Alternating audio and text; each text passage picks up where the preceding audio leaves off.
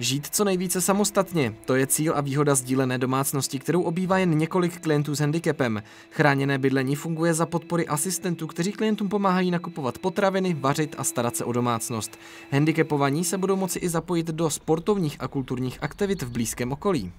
Transformací objektu v Plotištích nad Labem vzniknou tři domácnosti pro mentálně postižené, kteří tak budou moci žít samostatnějším životem. Jedná se tedy v součtu o tři domácnosti, které budou ve dvou případech po třech obyvatelích a v jednom případě po čtyřech obyvatelích. Projekt byl financován z integrovaného operačního programu a vyšel na 6,5 milionu korun.